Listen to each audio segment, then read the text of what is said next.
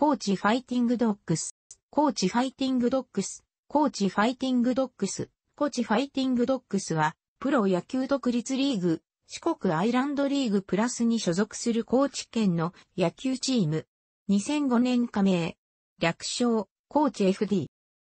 チーム名は、高知県由来の土佐闘犬から付けられたもので、雄大な土佐の黒潮もイメージに絡ませている。チームカラーは黒と赤。本拠地は高知市野球場。このほか、室戸広域公園野球場、四万十市安上運動公園野球場、秋市営球場、黒潮町立大型球場、土佐清水市総合運動公園多目的広場など、県下の球場を使用している。2011年のシーズンまでは、参加チームの中で唯一ナイター設備を整えた、球場がなく、ホームゲームは、デーゲームでの開催のみとなっていた。また、高知市周辺の開催球場は、高知市野球場のほか、高知市東部野球場、上市新山公園野球場、土佐山田スタジアム2010年は、開催なし、高知県立春の運動公園野球場、2009年までを合わしていた。2012年からは、本拠地の高知市野球場に、ナイター設備が設置され、ナイター開催が可能となった。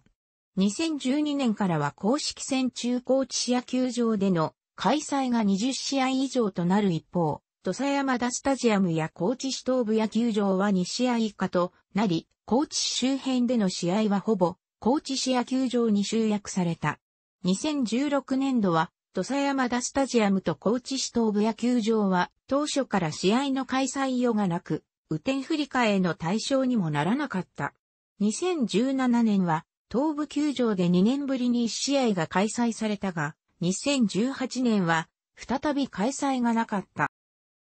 2010年からは、佐川町が選手の宿舎、越智町が練習場を提供し、この両町をホームタウンと称している。越智町のグラウンドでは2011年から公式戦も開催されており、2012年から2014年は高知市野球場に次ぐ試合数、2012年4試合、2013年3試合、2014年3試合であったが、リーグの試合数が減少した2015年以降は1試合に戻っている。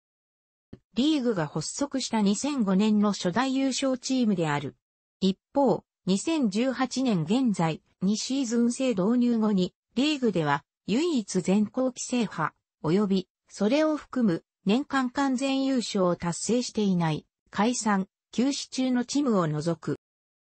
近次は優勝、2006年3月より、アイランドリーグの各チームはそれまでのイブリーの直接保有から独立した会社組織へと体制変更した。その中で、コーチだけは2007年シーズンまで新たな出資者が現れず、イブリーの全額出資のままであった。チームの経営安定化のために出資者の確保が求められ、2007年6月に千葉ロッテマリーンズのボビー・バレンタイン監督がアイランドリーグのチームの買収を内中とコメントしたと報じられた。その後、ロッテ球団側が否定際にも、マスコミに候補として名が挙がった。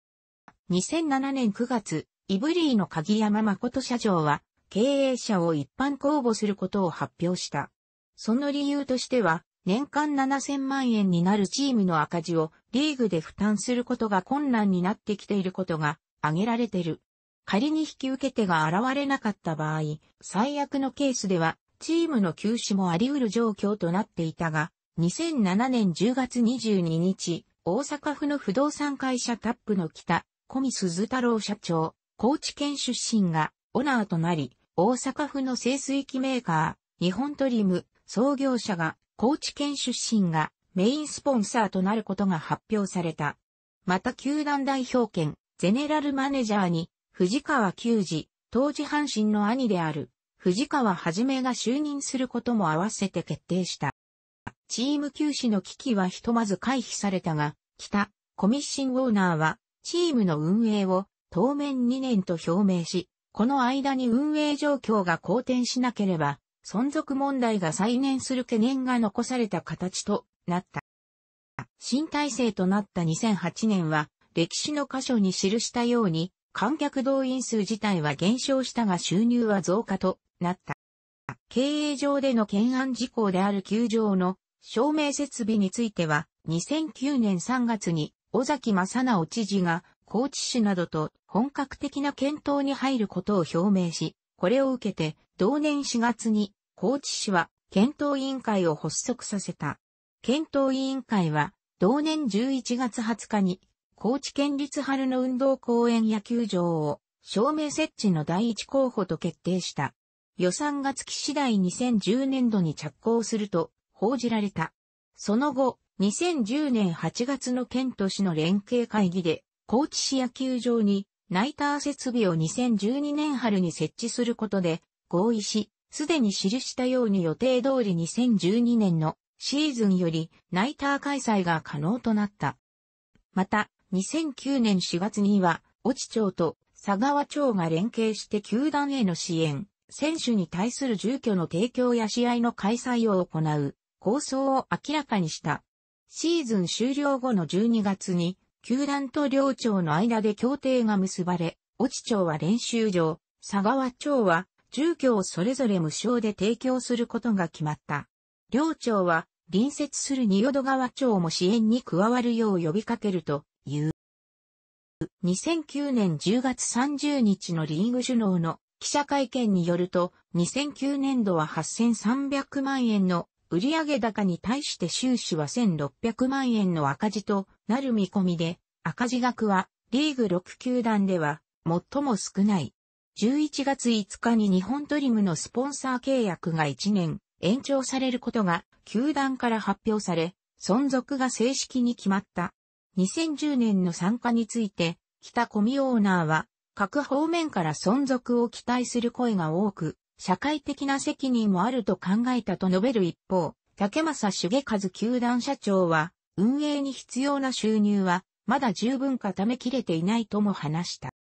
今後の球団運営活性化のために、小崎知事は、行政や経済界、市民などによる県民会議を設立する方針を明らかにし、11月21日に準備会の会合が開かれた。2010年1月30日、高知ファイティングドッグス FD を応援する県民会議の設立総会が開かれた。70の団体、企業や個人が参加し、会員は経営安定化に協力するとしている。一方、独立運営外来球団代表権、ゼネラルマネージャーを務めた藤川淳一が辞任したことが1月31日に発表された。公認は未定。2010年度は上記のように観客動員は前年比で微減であったが、リーグの鍵山 CEO は赤字ながら過去最高収益となる見込みであること、有料入場者数は9割を超え、前年より増加していることを述べている。竹正球団社長は、来期は経営黒字化のめどが立ったと新聞で語った。2011年2月24日のリーグ首脳による記者会見では、2010年度の収支は500万円の赤字という予測が公表された。同記者会見では2011年度の収支目標は、プラスマイナス0としている。また、越智町、佐川町の支援は、越智町は2010年に練習場などに4000万円を投資、新たな支援策も検討している。2011年11月4日に開かれた県民会議の総会で2011年度の収支は創設以来初の黒字となる見通しであることが報告された。その後2012年2月29日に開催された記者会見で黒字額は61万2000円取ったことが発表された。2012年度については70万円の赤字であった。2011年のシーズンは同じリーグの徳島から運営業務、会場設営やイベント企画、グッズ販売などを受託した。これは、コーチの運営ノウハウを伝えるとともに、2012年度より開始のナイター運営を学ぶ目的から実施された。概要説に記したように、高知市以外の県内の球場でも試合を開催するが、2013年現在は、これらの試合では工業権を地元の自治体や企業が購入し、観客は入場を無料とするケースが多いとされている。2015年2月25日に発表された2014年度の収支見込みは3年ぶりに約60万円の黒字となることが発表された。2015年12月に当年度の収支見込みは1100万円の黒字となることが明らかにされた。藤川球児の加入に伴うグッズ販売の増加や前期終了後に台湾プロ野球に入団した二人の移籍金などの収入にか、登録選手、外国人選手の抑制による支出削減の結果と報じられている。1試合平均の動員数も前年より96人増加した。2016年3月31日にリーグより発表された2015年度の決算では、経常利益は1000万円の黒字であった。2017年2月20日に発表された2016年度の決算では、経常利益は70万円の黒字となり、3年連続で黒字決算を達成した。2017年のシーズンは、マニー・ラミレスの加入効果で、観客動員が1試合平均739人と過去最高を記録し、チケットやグッズの増収効果により4年連続で黒字を達成する見込みであることが11月28日に発表された。マスコットキャラクターは、チーム名と同じく、土佐県をイメージしたもので、名前は、ドッキー。ユニフォームの帽子に、顔の部分がデザインされている。四国アイランドリーグ時代は、リーグ4チームの中で、ユニフォームにマスコットをあしらっている、唯一のチームであった。2008年からは、福岡レッドアーブラーズが、マスコットとロゴを組み合わせた句を使用。ホームゲームでは、着ぐるみも登場する。選手、指導者については、コーチファイティングドッグスの選手一覧を参照。楽しくご覧になりましたら、購読と良いです。クリックしてください。